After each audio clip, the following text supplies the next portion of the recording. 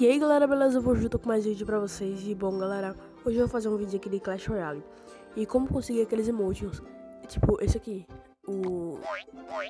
Esse aqui que lançou, né? Novos que você pode conseguir de graça, beleza? E você pode estar usando na partida Bom, o que vocês vão fazer?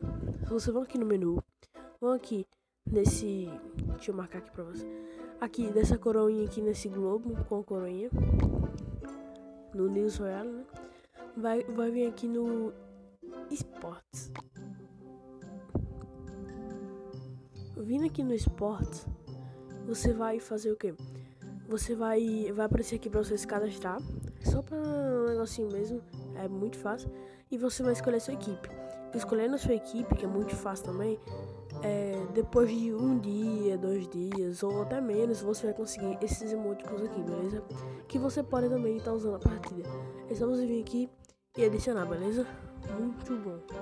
E galera, como vocês podem ver, eu passei de arena. Ontem mesmo eu consegui passar de arena.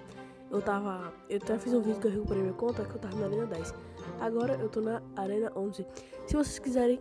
Se vocês quiserem que eu mostre um vídeo de decks para subir para a arena 11 e 12, é só deixar o like, se inscrever no canal e comentar embaixo, beleza? Então é isso, galera. Valeu, falou e fui!